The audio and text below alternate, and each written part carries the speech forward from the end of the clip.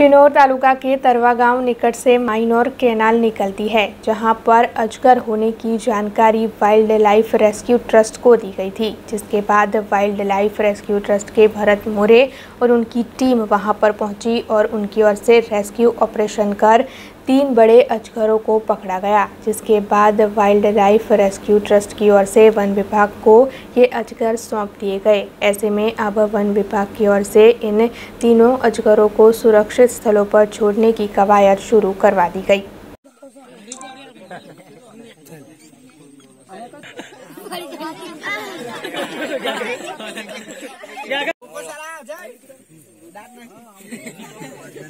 अब खबरों से लगातार अपडेट रहना हुआ आसान। बीआरजी न्यूज़ आपके मोबाइल स्क्रीन पर। आज ही बीआरजी न्यूज़ की mobile app Google Play Store और ऐप स्टोर से डाउनलोड करें और खबरों से लगातार जुड़े रहें।